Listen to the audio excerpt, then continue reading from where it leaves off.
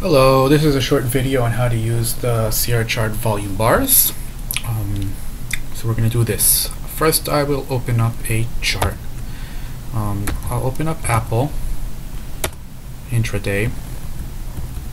Let's change to 60 minutes or perhaps 120 minutes actually so we have a better view. Great. There we go. Now it kind of looks a bit more like a chart. Um, the first thing I'll show is let's change this to a candle. Um, chart settings, candlestick bars. Okay, so here we have a candlestick. You notice that they are all the same width, which is kind of the difference we're going to see when we move to these volume candlestick bars. Here they are, candle price volume bars. That's their name. I'm going to click OK. And as you can see now they have varying widths. So the wider they are, the more volume there was. And if I add the volume study, we'll be able to see that that corresponds with that. Check out the colors here. I'll change that to green for an up. Go. As you can see, the larger the volume, the wider the bar.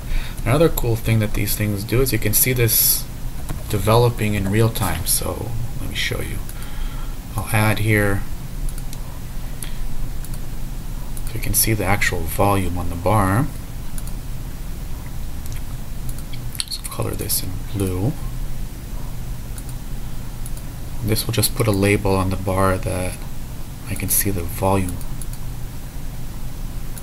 And I'm going to place the label at the high of the bar and displace it by 0.1%. And let's just see the last one label.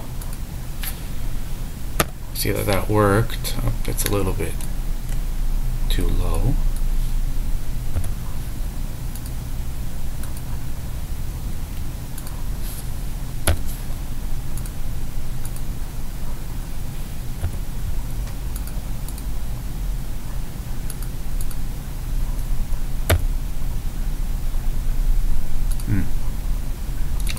We want this percent, that's the reason.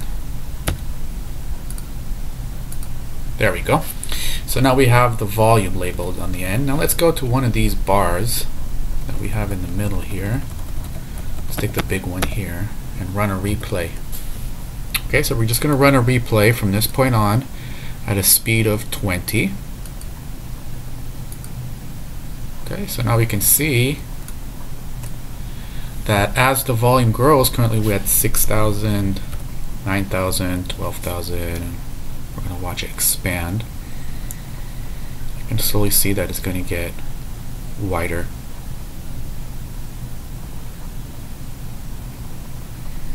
Now if I jump ahead in time a bit, each press here bumps it 10 minutes up. You can see the volume's growing. Now it's we're at two. What is that? Two million. So you can see that's much wider now. And this is kind of what it looks like in real time. And that's it. Hope you enjoyed the video and see you on the next one.